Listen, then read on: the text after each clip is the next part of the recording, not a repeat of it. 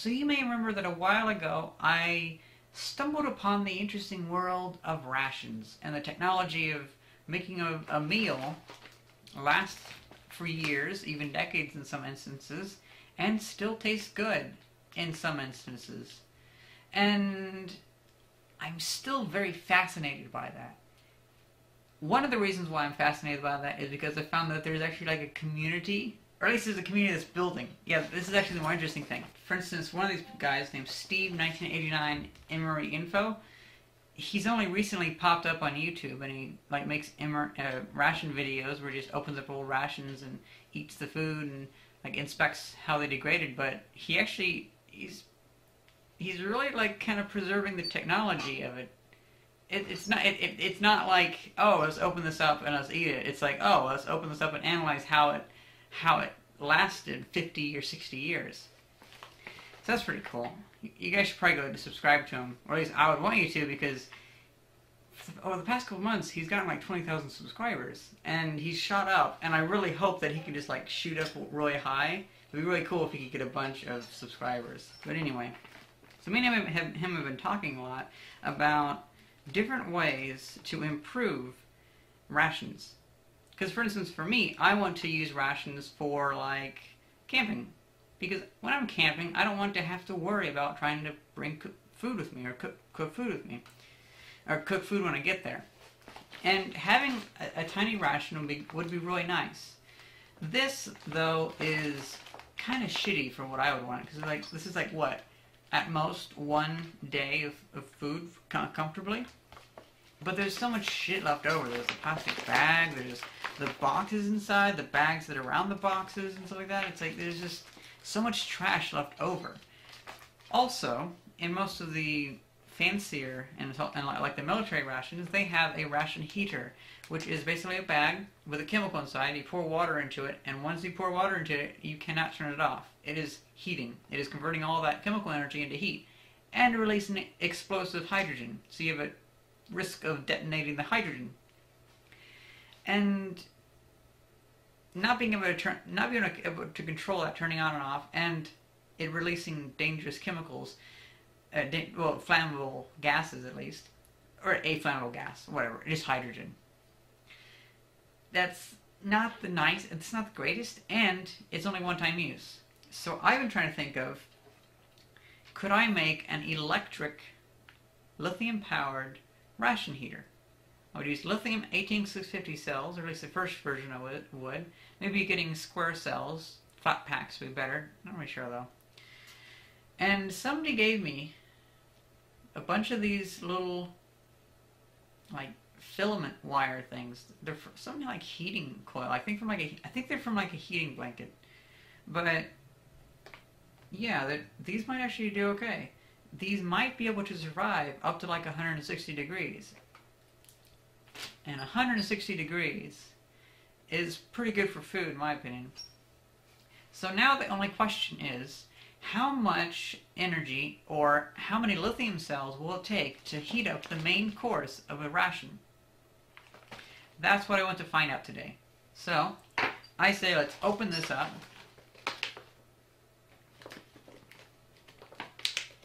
Oh, go ah, on. Look at that. Now this is the same exact ration that I ate a few months ago, so there's really nothing to show. So here we, here we have the, the pinto stew. Stew.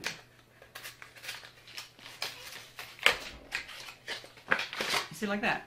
Why do we... Why? That's stupid. Actually, I guess that has the information uh, that I'll need for calculating the energy. Maybe I shouldn't throw things when I'm trying to collect the data. Okay, so this weighs 227 grams. That might be interesting to know. So this is the food, and it's room temperature. Well, I think I can just grab a filament of wire, maybe, or not. Make sure that it doesn't have any kinks in it or anything. Hmm. It's kind of screwed up, but... You know, because whoever had this, they just ripped it out of whatever was in. like the heating blanket or whatever. Okay, so we have a nice little selection here. And I say, let's just wrap it around. Oh wait, we should probably, it's usually better to like push it all the way down. Or actually, I don't know. There will be more surface area and less of a distance to any particular part of the food, so probably would be better to have it all laying out. So yeah, we better do that. Like this. And this alone isn't greatest. I just, I would want there to be a little bit more filament. So let's grab another one. I just realized I wasn't going down to the bottom here. Okay, so here we have these two sections all wound around this. I'll take this packing envelope and stick that around it. So now we have an insulated heater. So looking through my thermal camera, the ration main course is about 71 degrees. It's pretty room temperature. I have it connected up to my power supply. Can power that on. Start pulling power. And the voltage and the power going through it is starting to heat it up, as you can see. Ah, it's already starting to warm it up. The main question, though, is how quickly can it transfer that heat into the ration? So before we start the test, let's put this into the little insulating box. And let's put a little weight on top of it, just to make sure it presses down a good amount. 2 amps would be about right, because I was testing it before with 1 amp, with 1 amp. Well, this is actually two wires though, so I should go with 2. So now let's let this sit for about 15 minutes to see how much the temperature rises. In 15 minutes, if the voltage doesn't go up very much, it should be roughly the, the amount of energy that is in an 18650 cell. And I think I did the math before, and a single 18650 cell trying to heat up this size ration in a kind of perfect universe should be like maybe 15 or 20 degrees Celsius elevation. I don't know. So my thermal camera says about 136 degrees Fahrenheit on the bottom. And this is very, very warm. Very warm. Disconnect these.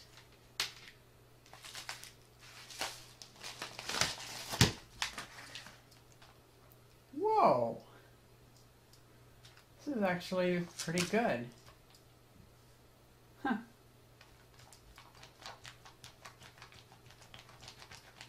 The end is a little bit cool, but wow, I would totally eat this. Hmm.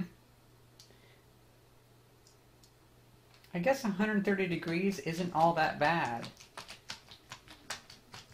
I'm just gonna mix it back and forth. It's actually like really, really warm. Really, really warm.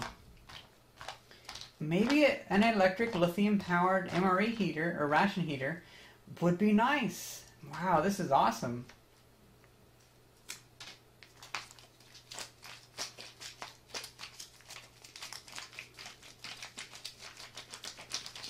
Is actually warmer than I like. And so let's see what the temperature is. I'm going to equalize it by spreading it all out.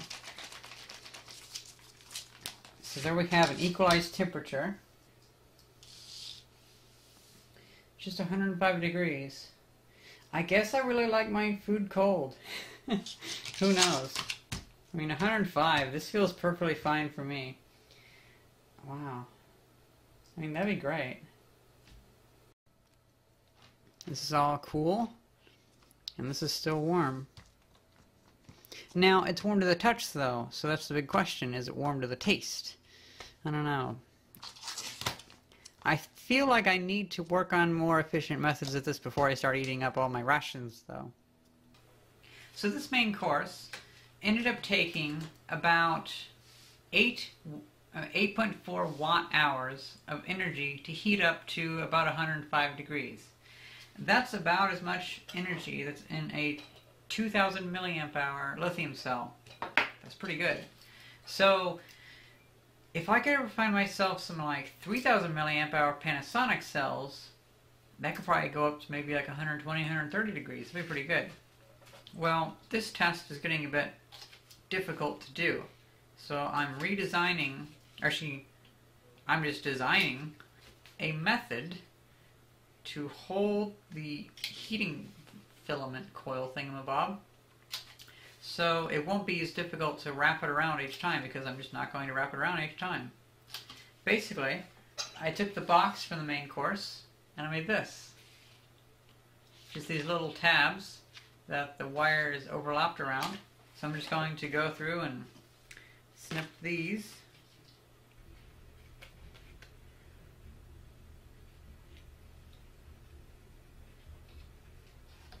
So now we have these two I guess we could call them filament pads. And we have this, which is actually at a temperature of about 72, 73-ish degrees now. Roughly the same temperature as before. And stick that on there. So put some weight on it. And we'll turn on the power give it 2 amps, and then we'll get back to about 15 minutes to see how high the temperature has been elevated. Okay, it's now been 15 minutes. Let's see what we got. It feels quite warm.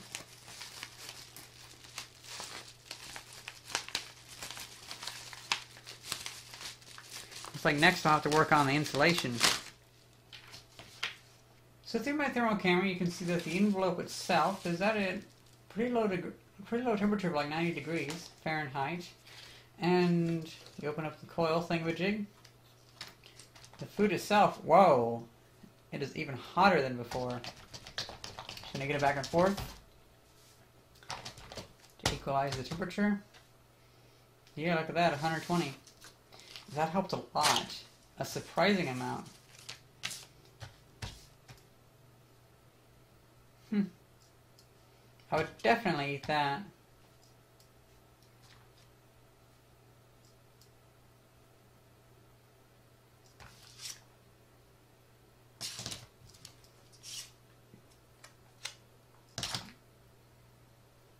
Looks like it's now equalizing down to about 110 degrees. Or maybe maybe back to 105, I'm not really sure.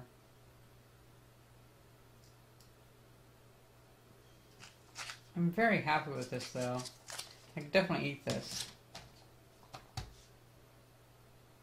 So I'm generally fine with like lukewarm food, or at least some people would say lukewarm. 105 degrees seems perfectly fine to me. Seems very eatable. But I am still very happy with how this came out. Especially for just being wire wrapped around a couple pieces of cardboard. And the other fact that this is this is taking the same power as before, so it's still about, if, if my calculations are correct, about the power of a really nice 18650. Well, nice for me. I, I guess. I, I guess when they actually come new from Panasonic, they're actually higher capacity, so never mind. Possible upgrades. Okay, so first upgrade I can think of is to not have cardboard. That's a good upgrade. Second up upgrade would also have not just some shipping envelope as the insulation. You'd have actually a nice little bit of insulation around it. Be like some really like something from like winter material or something like that. Another upgrade would be to change the wiring so it can just work directly off of 4 volts. Basically it would just be more of these strands just in parallel. So it'll be shorter strands, just more of those strands. So across 4 volts, it'll it'll still be able to heat up the same amount. If those going to 17 volts, then, well, I guess you could just cut, cut them into fourths. So just cut them into a quarter of each one, and then those would take 4 volts, if that works. I don't really know.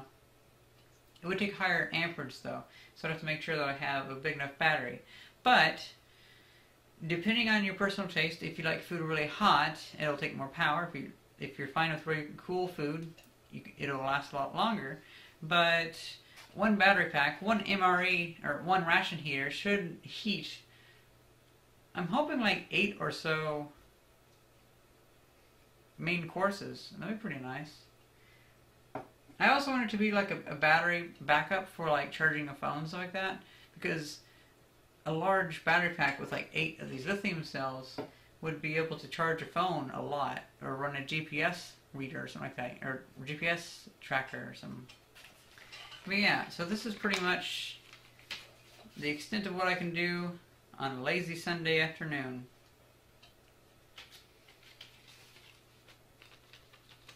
I hope you guys enjoy this video, and I hope you check out Steve's channel. It's actually really enjoyable. Thanks for watching. See ya.